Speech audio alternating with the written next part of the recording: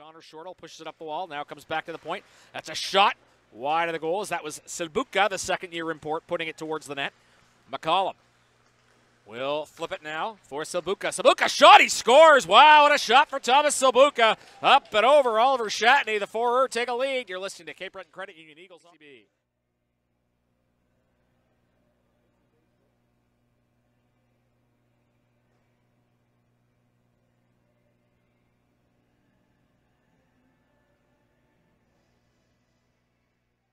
Offside here against Val-d'Or. Eagles clear the zone. Langlois now for Ud. Ud brings it in. He has McCluskey with him. McCluskey for Patterson. A shot scores!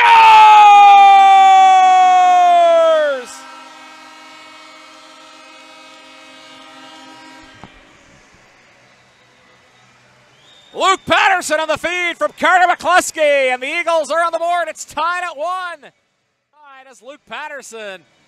Big goal for the Eagles to tie it. And they'll take that. Being outshot 9 7, but it's now a tie game at one. With 9.30 to go here in the opening frame. Fernandez now for Drapeau. Looks along for Zold. Zygmunt Zold, that's going to be one of the best names in the league. The 18 year old Slovakian in his first season in the queue. McCollum just given a huge hit by Cote.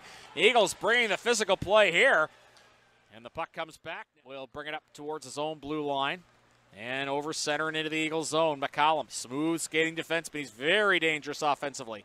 He'll send it back for Robidas. Robidas for McCollum, a one timer, and he scores. I would love to get the speed on that shot. Boy, that was coming off pace, and the forward take a 2 1 lead. 58 seconds into the power play. Leading scorer in the queue among defensemen for a reason. For Langlois. Team's playing four on four for another 106. Here's a breakaway for Justin Robidas. Robidas coming in a low dinky. He scores right through the legs of Oliver Shatney. And there are very few players you'd want to see less on a break. Robidas. And not a surprise, he's able to convert.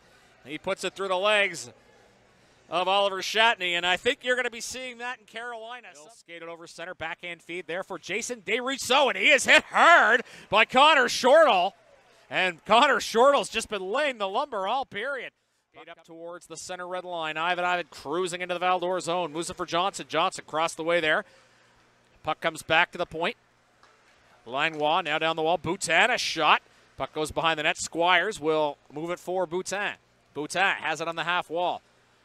Ivan now pass across. Chance for Johnson. He scores! Johnson on the cross ice from Squires and the Eagles on the board early here.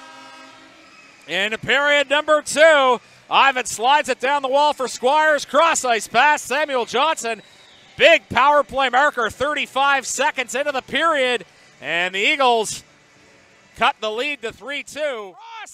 And puck comes back now for Beauregard. Beauregard has it on the half boards. Beauregard now for Bolduc. Bolduc sliding down the left side. Bolduc. Backhand shot. He scores. Nathan Bolduc cruising up the left wing and just flips a backhand over Oliver Shatney for a restore the two goal lead. You're listening to Cape Breton Credit.